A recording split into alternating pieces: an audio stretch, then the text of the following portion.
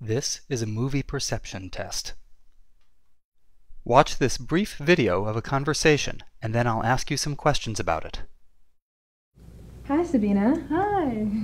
It's been a long time since I've seen you. Yeah, it's great to see you, Andrea. So, how did you get here? Oh, I took the subway from Middleton and it took only about half an hour. Really? I drove from Gresham and it took 45 minutes. Hmm, hooray for public transportation. So, why did you call me here for this mysterious meeting? I'm planning a surprise party for Jerome and I need your help to keep him away from the house. That's great. I'll do anything you need. good. I hate surprise parties, but only when I'm the victim. Otherwise, they're great. Very good. Other than the strange dialogue about a surprise party, did you notice anything unusual?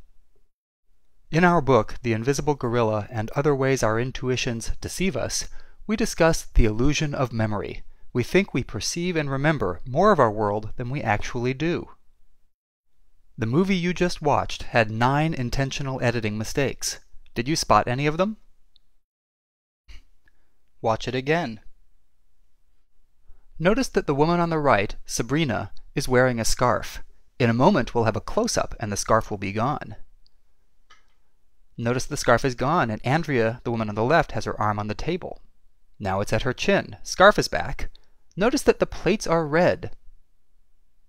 Now they're white and Andrea's arm is back on the table. Now they're red and Sabrina's arm is off of the table. Notice that the food is in front of Sabrina. Now it's in front of Andrea.